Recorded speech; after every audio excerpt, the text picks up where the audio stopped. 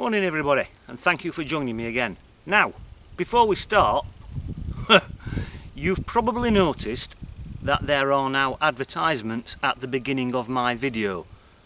Well, the thing you need to know is it's not my doing.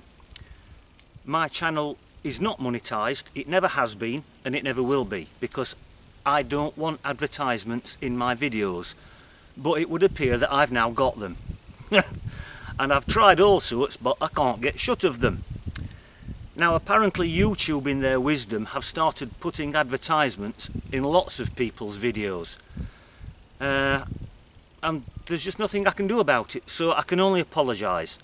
If you don't like the advertisements skip over them. If you do like the advertisements watch them. Anyway, I'm back in the same field, the grass is the same, the soil conditions are the same, but I'm still convinced that my theory about the driven shoot being held in this field is correct. Now if you don't know what a driven shoot was, let me explain. The landed gentry would have been invited here by the landowner to go on a shoot, pheasants, partridges, etc. They would have turned up with all their servants and their footmen they would have set picnic tables up along that far edge of the field there and a line of guns would have been set up at this side of the field probably about 20 or 30 metres away from the edge of the wood. Now in the wood where all the game were the beaters would be slowly driving the game towards the edge of the field quietly at first but the closer they got to the edge of the field the more noise the beaters would start to make to drive the birds out of the field with obvious results. Anyway, that's my theory. So, let's continue and see if we can find anything else decent in this field. Okie dokie. Oops, get away. Catch you all later. Right then everybody, this is the first find of the day just here. Uh, only about four or five inches deep. As you can see, the soil is still as dry as a bone and extremely hard to dig. But it's a strange little find. And I like strange little finds. it's a number eight. and I think by the looks of the pins on the back it could be something to do with the military because it was obviously some kind of badge at one time of some description. I'm not entirely sure, but I'll have to do some research on that and uh, maybe you can get your thinking caps on as well. Okie dokie, right. It's a nice little first find and I'm very happy with it. Right, we'll put, pop it into the box and away we go. Right, my good friends, looks like we might possibly have another nice little find down here. Just there. Uh, as you can see, only about three inches deep. I can only assume that this field was ploughed at some time because normally a find like this would be considerably deeper. Uh, I think it could be some sort of token, maybe a gaming piece. I don't know whether there are any markings, although I think there might be some markings on it. Uh, but we'll have to wait until I clean it up uh, to get a better look. But there's the little doohickey in question. So we'll pop it in the bag and we'll get a bit further.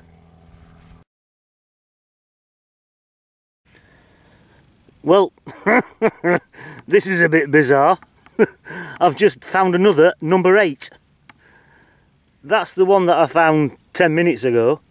And that's another one that I've just dug up once again well maybe a bit deeper this one maybe about five inches deep uh, but it's another number eight same kind of arrangement on the back with the pins holes call them what you will but anyway I'm not bothered it's another nice little find right we'll pop it away and we'll plod on Right my good friends, looks as though we've got the first coin of the day. Uh, nothing to shout about. Uh, probably about four, maybe five inches deep, that's all. Came up at 72 on the ID scale. Looks like a Victorian halfpenny. May be able to get something off it, not quite sure. Anyway, there we are my good friends. What looks like a Victorian halfpenny.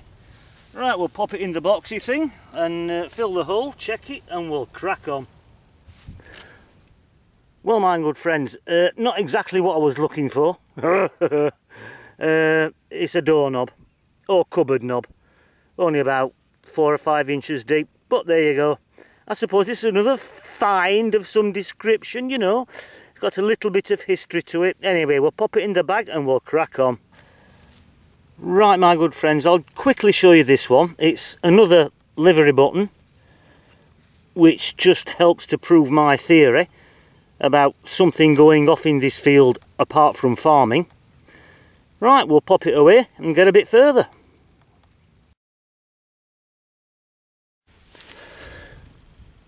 Well, my good friends, considering the conditions, this one is surprisingly deep. As you can see by the digging knife, it's what, 6, 7, 8, 9, 10. It's probably 11 going on 12 inches deep.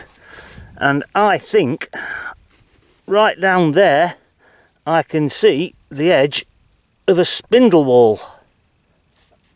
If I can get it out. Oh yes. One of my favourite finds. Lovely spindle whorl. Very difficult to date. Could be medieval. Could even be Roman. Anyway, it's an absolutely wonderful find and I'm loving it.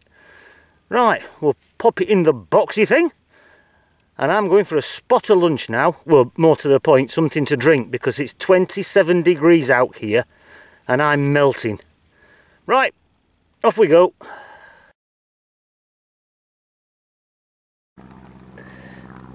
Now then my good friends, I've just been having my lunch at the side of this stubble field so I thought I'd have half an hour or so in here. Uh, I've only been at it about 10 minutes and we've got a little coin of some description. Half penny, maybe. Anyway, it's a nice little find. We'll pop it in the boxy thing and we'll see if we can find anything else. Now then, that's enough stubble surfing for me. Because the ground conditions in the stubble field are even worse than what they are in here. So I've, I've come back in this field. Well, I've been back in it about 20 minutes or so. And I'm glad I did. Because we've got a coin down here. It's only about five inches deep came up at 78 on the ID scale and we've got ourselves a nice little what I think is a silver shilling it's not too old in fact it's good old King George can't quite make out the date it's very tarnished but I'll clean it up later I'm sure we'll get a date off it anyway there's the coin my friends Nice little King George V silver shilling. Looking very black, admittedly. Right, we'll pop that in the boxy thing and we'll head off in that direction over there, my friends. Right, my good friends, got a target down here. It's about 8 inches deep. Came up at 72, 73 on the ID scale. Got a nice buckle first buckle I've dug up on the last two visits but a nice buckle all the same could be 1700s 1800s but there we are my friends a nice little buckle now what I'm going to do now is I'm going to detect my way back to the car because it's a long walk and if I find anything on the way I'll let you have a look uh, but failing that, I'll see you all at home for the roundup because I've had enough. it is seriously hot out here. I'm exhausted. Anyway, catch you on the next signal or I'll catch you at home. Okay, okay. Bye for now. Well, I'm still walking back to the car and uh, we've got a target down here. It's about six inches deep and it's another buckle almost identical to the one that I've just dug up. Apart from this one still got the remainder of the pin on it. Ah well first we find two number eights and now we find two very similar buckles. I'm not complaining. It's a nice find right into the bag with it and we'll carry on walking to the car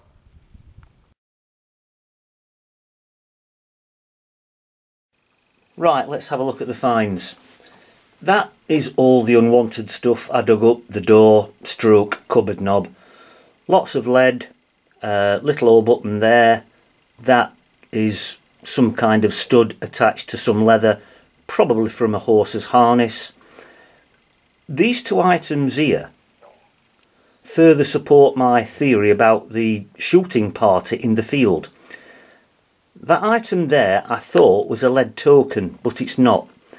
It's a lead seal from a wine bottle. There are some letters on the item, but I can't read them properly.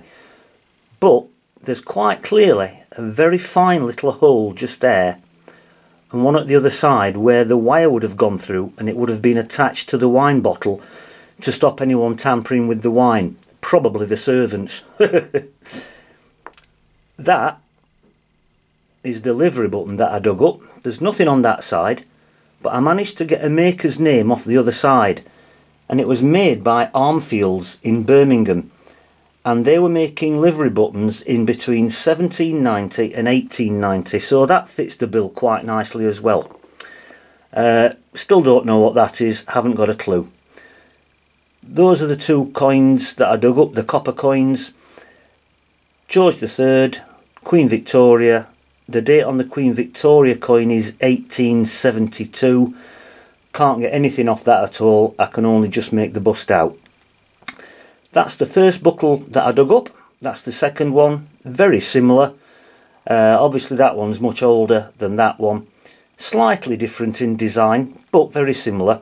Nice finds anyway that is the lovely spindle whorl that I dug up I've checked on the database and matched the photographs up and it is medieval now these caused me a bit of a problem.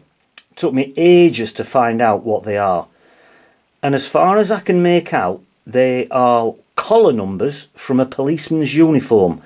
Late Victorian, very early 1900s. The only thing that I can't match up are these two gaps in the number 8s. That one there, and there's a gap in that one there. For some reason, that one looks older than that one. I don't know why. Now what a policeman was doing down there in the middle of nowhere I haven't got the faintest idea. That is unless there's a policeman buried in the field somewhere. I don't really know. Maybe he was chasing a poacher or possibly when they used to use rags as fertiliser the policeman's tunic may have been worn out and got chopped up because they were made out of wool and spread on the land as fertiliser and maybe those numbers were still attached to the tunic. I don't really know but they are a little bit baffling I will admit. That is the nice silver coin I dug up. King George V one shilling. Cleaned up very nicely. Uh, the date on that is 1918 so it's a full silver and there's good old King George on the other side lovely little coin Right my friends, those are the finds, but don't go away because we are now going to do the draw for the coin identification board. Okie dokie. Right then, here we are on the YouTube random comment picker. I've put in the URL number for the video. I've filtered out duplicate users. So we'll now get the comments, of which there are 115 unique comments. So we'll go over this side now and start the raffle. And the winner is Hopius Maximus. So well done, my friend. And thank you very much for watching the video and taking part. So I will be in touch, my friend, uh, and we'll get it in the post. Right then, back to the video, my friends. Right then, that concludes the business for today, my friends. Once again, well done to Keith from Hopius Maximus. Another good channel. If you haven't watched it already, make sure that you get over and give him a watch because he does find some wonderful stuff. And thank you to Graham for providing the prize, the coin identification board. And don't forget to give Unearthed UK Limited a watch if you need anything metal detecting related. And also, if anybody has got any theories about those little number 8s and why they've got a little gap in them, please let me know or give me your thoughts. I would appreciate it. So my friends, thank you very much for watching. I do appreciate it. Thank you to all my subscribers and viewers, new and old. And I'll see you all the next time round, my friends. Bye for now.